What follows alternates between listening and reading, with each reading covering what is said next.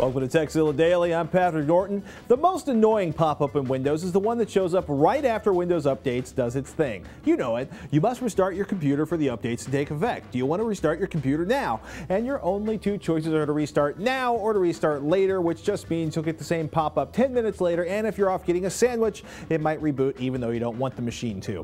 What if you want to restart on your own darn schedule? Not a problem. It's actually pretty easy to fix. Open the Start menu and select Run.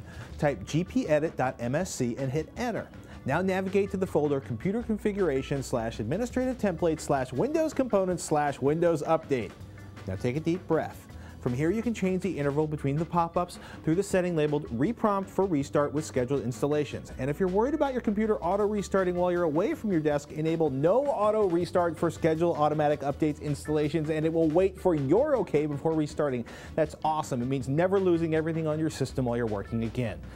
Thanks to Asan Kia for bringing this to our attention. I'm sure it will put many frustrated minds at ease. Now, you got a tip or a trick you want to share? We'd love to hear it. Email it to us, tekzilla at revision3.com. And don't forget, tekzilla.com is the place to find more tips, tricks, product reviews, and how-tos.